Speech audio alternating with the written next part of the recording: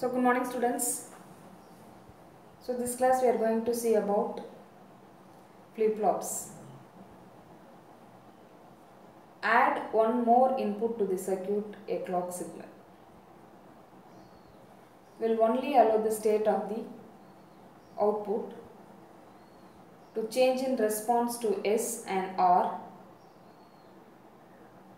when the clock transition from 1 to 0.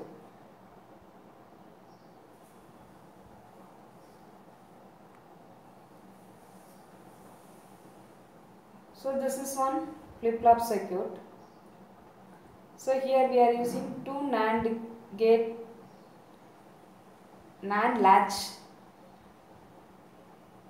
First off is a one NAND latch. Next off is a second NAND, NAND latch.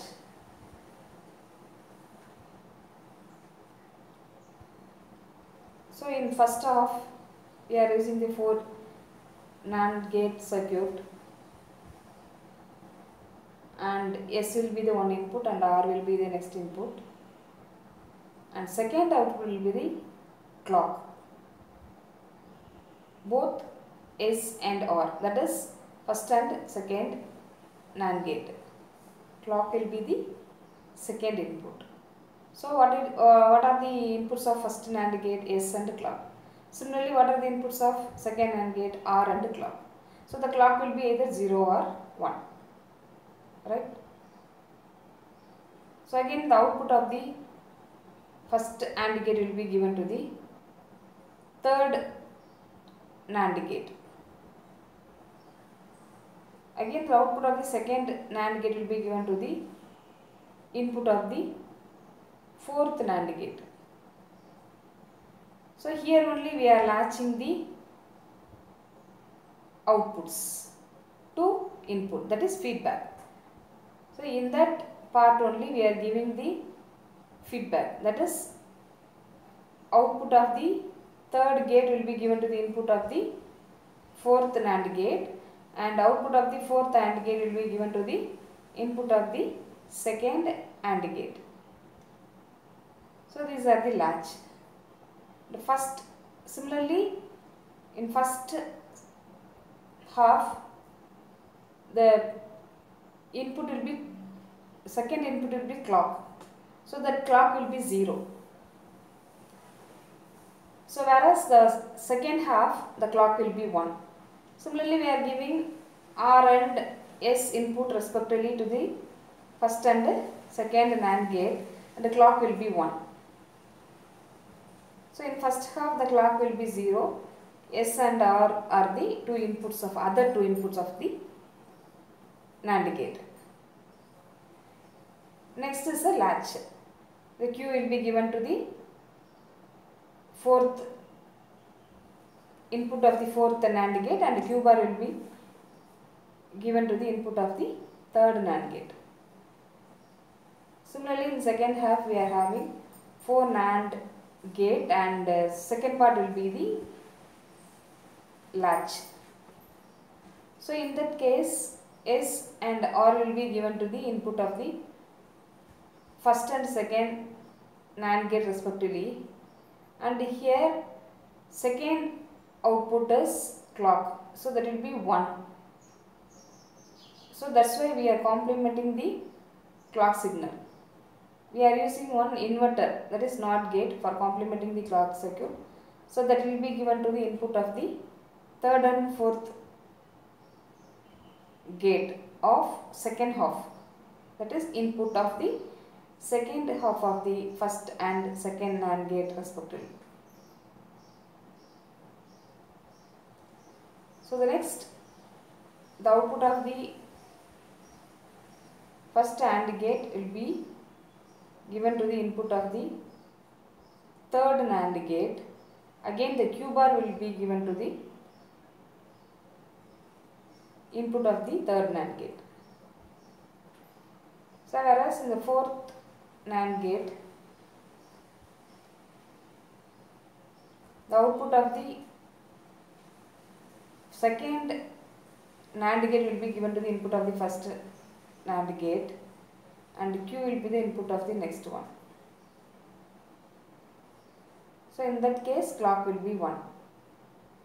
So that's why we are using one complementer that is inverter or NOT gate whatever may be so in the circuit. So that will be inverted by 0 will be 1, 1 will be 0. So that is operation of inverter that is NOT gate. So here first off clock will be 0. So clock will be 0 means if it is given to the inverter circuit means it will be 1. So that will be given to the input of the first and second AND gate respectively.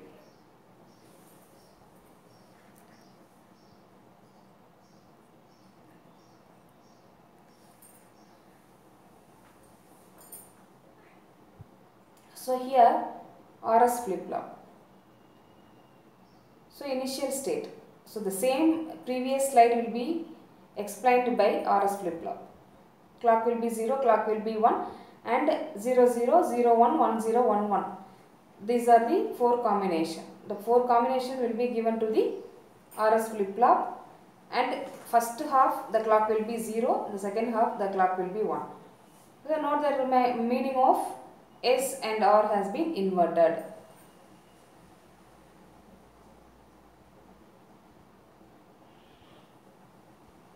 So in first half S will be 0, R will be 0, clock will be 0. So what are the output of the NAND gate? 1, 1 according to the truth table. So that will be given to the one input of the third and fourth NAND gate respectively. So what about the input 0, 1? So 0 will be given to the input of the fourth NAND gate, 1 will be given to the input of the third NAND gate. So what are, what are the output 0, 1? So that will be given to the next portion that is next half circuit. The same operation. So 1, 0. 1, 0 means what according to the truth table what will be the output of the NAND gate. So that will be the given to the latch and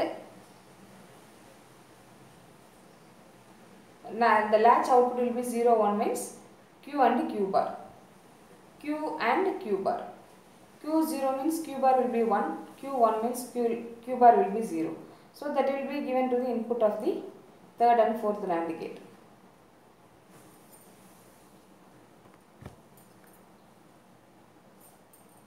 Next RS flip flop. So if clock goes high,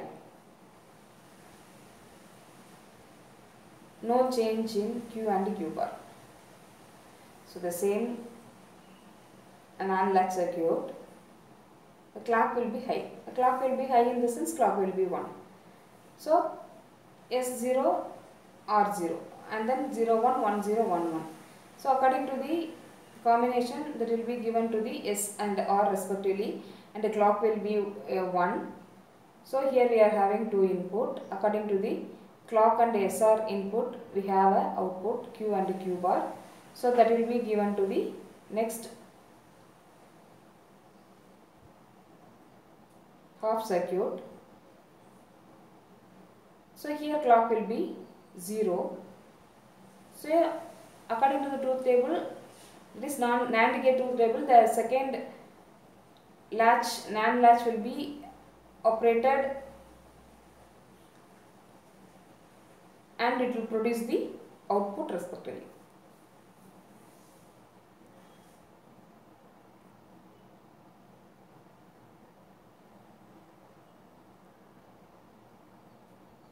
So here also clock goes high. Next combination 0 0 and then 0 1 1 0 1 1. S will S are two inputs 0 0. The first combination 0 0. The next combination 0 1. Next 1 0. Last 1 1. And clock will be high. So what are the inputs will be given by truth table respectively q and s and r q and q bar will be the output that will be given to the feedback of the previous NAND gate circuit and it will be